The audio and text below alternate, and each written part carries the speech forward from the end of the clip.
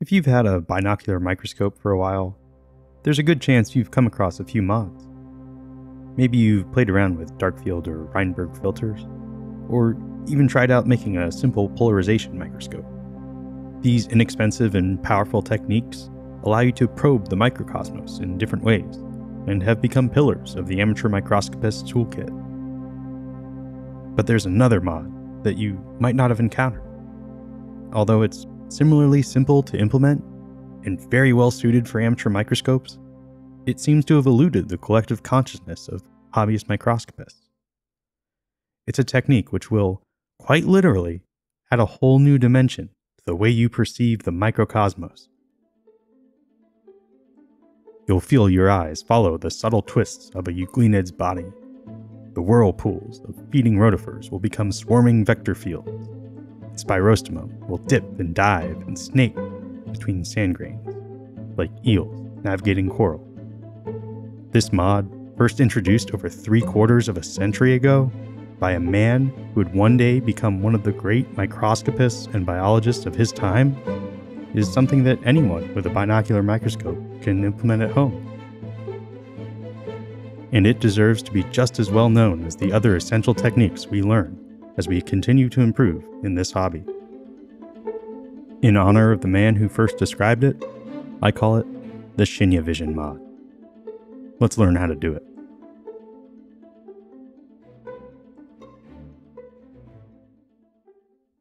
Now, as described in Shinya Inoue's patent, this would only work for those of you with heads where the interpupillary distance is changed by sliding the eyepieces closer and farther apart.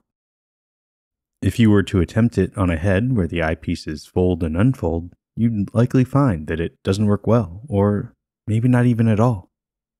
But don't worry, because I've come up with one extra step which will allow this to work for you. Just make sure to follow it if that's the kind of binocular head that you have. In addition to a binocular microscope, you'll need a 10x objective, a square of polarizing film, and some scissors and a permanent marker and ruler for cutting filters out of it. And then you'll also need some non permanent double sided adhesive. Poster tape or 3M468P will both work really well. And then, of course, you're definitely going to want a really nice sample to look at. Hopefully, a jar of pond water with some sediment and debris inside. Now, before we start cutting filters, there's one thing I want to stress about this mod. It is very forgiving. As long as you generally follow the steps in this video, it's going to work great. So don't worry about making everything perfect. Once you do it the first time, it's only going to take you a few minutes to set up next time.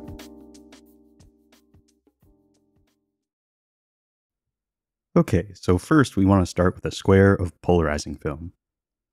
This stuff has a certain orientation to it, and when you overlap two pieces with the orientation cross, they block the transmission of light.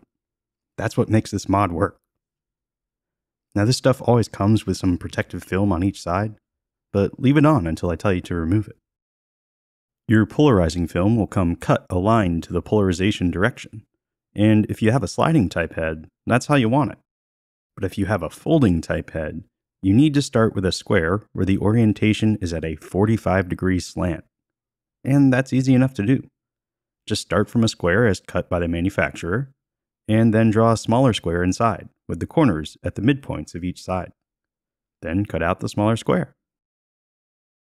At this point, no matter which head style you have, you can follow the same steps to implement Shinya Vision. I'll use the folding style square, since I think that's the one most of you will have. Now, we're going to cut four separate pieces out of this polarizing film.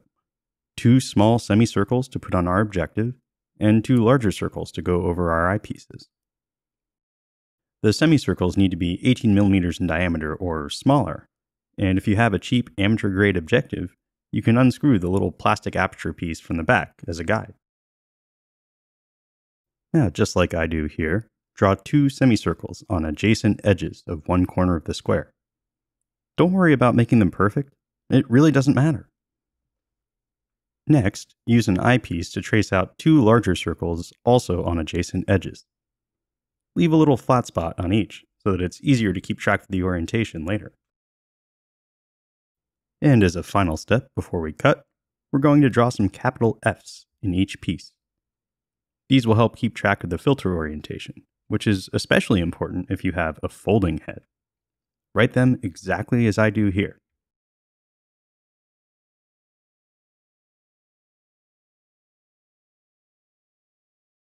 Okay, now you just want to cut out all the shapes.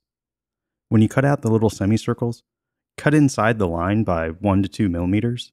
It's better to be undersized here than oversized. And you really don't need to be neat about this at all. Just cut them out roughly, and they'll work great. Okay, so let's build our Shinya Vision objective. You'll need your two semicircle pieces and the little plastic aperture from the back of the objective.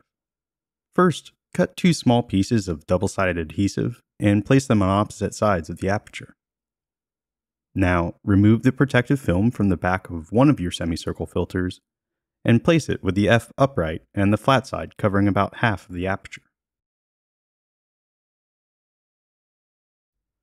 Now do the same thing with the other filter. It's totally fine to eyeball this. If the dividing line is way off center, just peel them off and try again.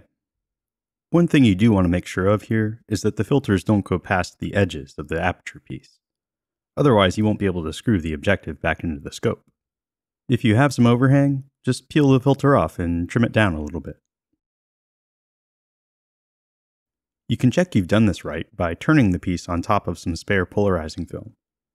For folding heads, you should see one half go dark when you twist 45 degrees one way, and the other half go dark when you twist 45 degrees in the other direction. For sliding heads, it'll be 0 degrees and 90 degrees instead. So, if you see this, go ahead and screw the aperture back onto the objective and remove the remaining film from the filter. Screw the objective back into your microscope turret, but don't tighten it down all the way. Leave it a little bit loose. Now pat yourself on the back. The hard part is over. We're almost ready to see in 3D.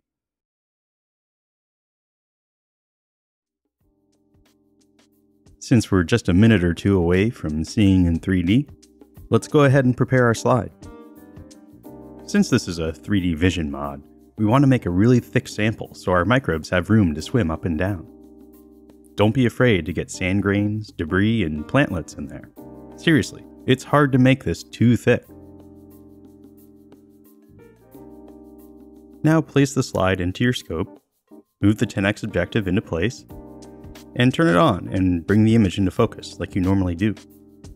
Before moving on, make sure the condenser is raised up as close as possible to the slide and open the iris all the way.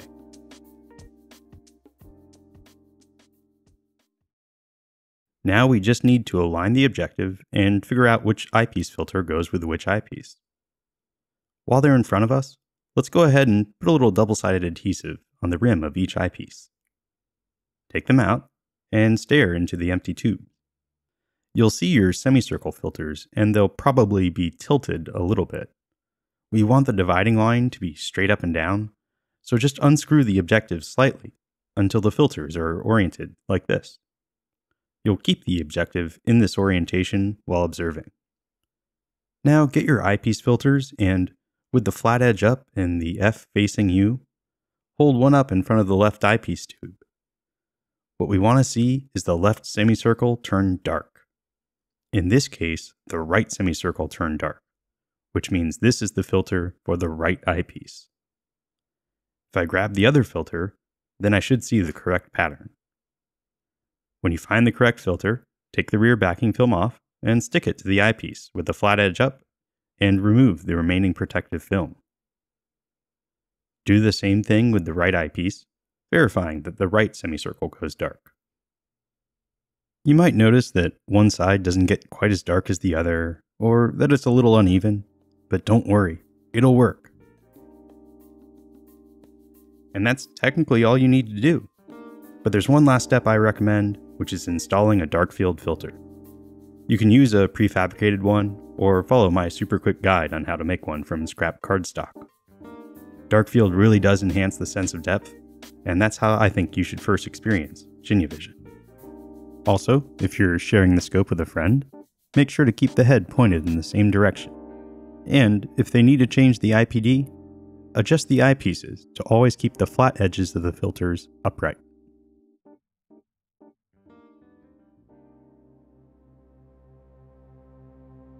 Now, at first, the effect might not seem so dramatic. If you're just looking at sand grains and whatnot, it might be hard to tell what's so special. But once you see critters swimming around the slide and crawling up and down the debris, you'll feel the difference. You'll perceive them not as if you were watching them on a screen, but as if they were right there in front of you in a tiny little aquarium.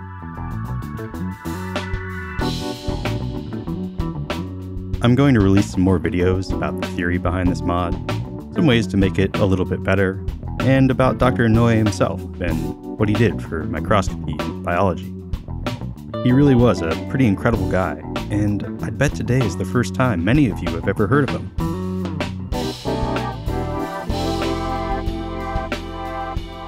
I hope you'll consider subscribing so that you can come along for the ride. But more than anything, I just really hope you try this out. It's such a terrific mod, and a really cool way to see the microcosmos in the same way that a great master did. From Diet Tom's Diatoms, I've been Jason. Thanks for watching, and I'll see you in the next video.